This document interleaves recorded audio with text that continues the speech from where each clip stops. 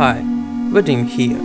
In previous video we've met 7 of 10 rules which ornament cells obey. Also, I have shown how ornament cell can divide frequency of trigger source and act as sync source for other devices. In this video I'm going to give you deep explanation of ornament operating modes.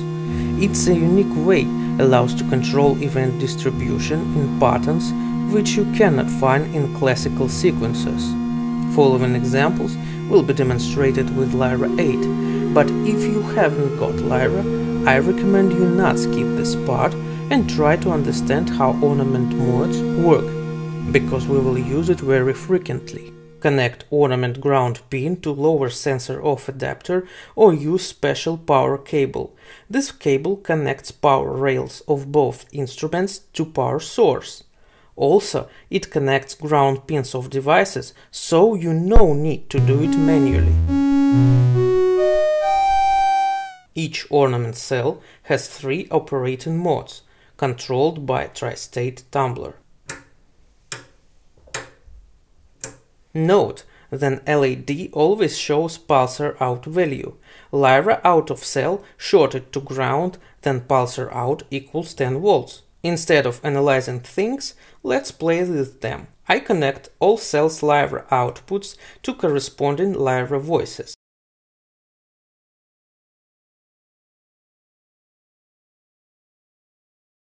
Create three-step loop. Cell 4, cell 5 and cell 6.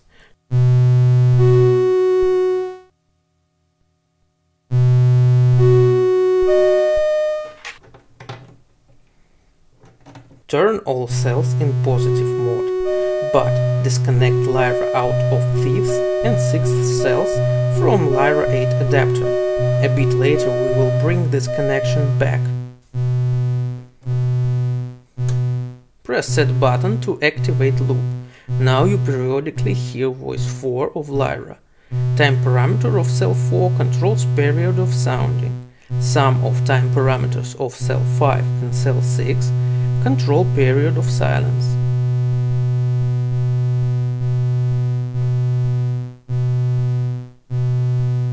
Turn cell 4 into negative operating mode.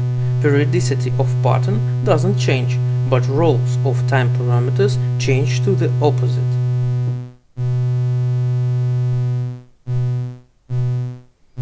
Now connect previously disconnected Lyra out of cell 5 to Thief Lyra voice turn cell 5 to positive mode, but before I activate cell, pause video and try to say which voices will be active and why.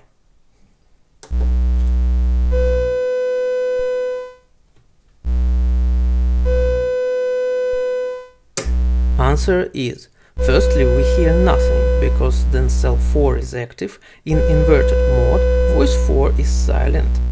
After cell 5 is active, we hear voice 5 and voice 4 because cell 4 is inactive. Then cell 6 is active, its voice still disconnected from ornament, and we just hear voice 4. After that, cycle repeats. Let's mute one of these two voices without disconnecting from Lyra sensor. Use pause operating mode corresponding to middle tumbler position. Cell still takes part at trigger exchange, but pulsar out always equals zero. Changing of operating mode is simple but powerful trick can drastically change pattern. We use it in next example. Connect trig inputs and trig outputs to create simple 5-step loop. Second to fourth, fourth to sixth, sixth to fifth, fifth to eighth, and eighth to second. You can change the order or amount of connected cells. Tune Lyra voices to some interesting intervals.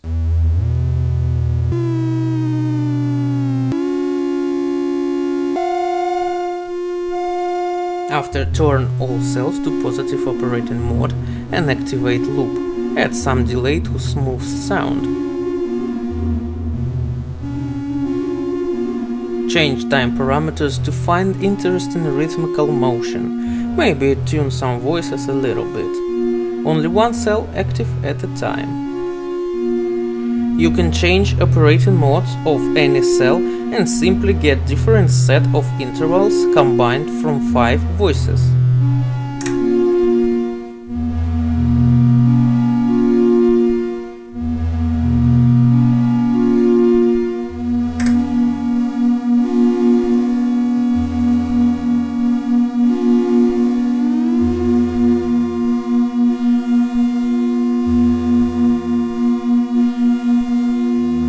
Combining this technique with organismic power of Lyra 8 and its FM synthesis capabilities, you can generate really powerful soundscapes.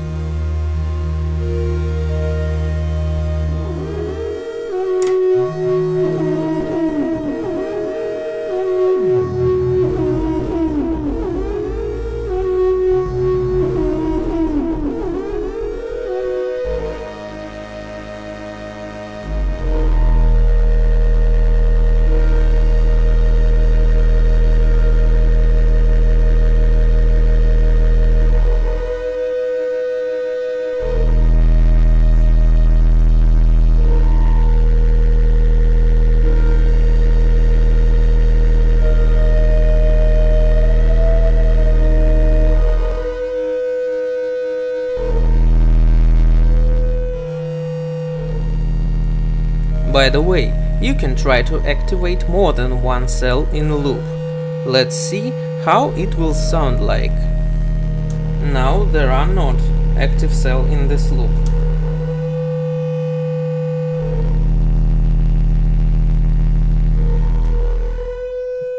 Now two cells active in the loop.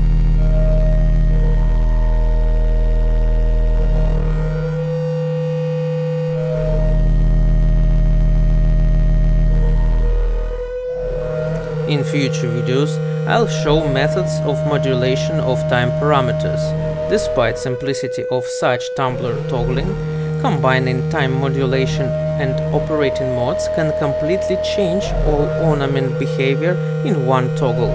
In next video, I'll cover new techniques of creating rhythms which require knowledge of ornament operating modes. So see you next video.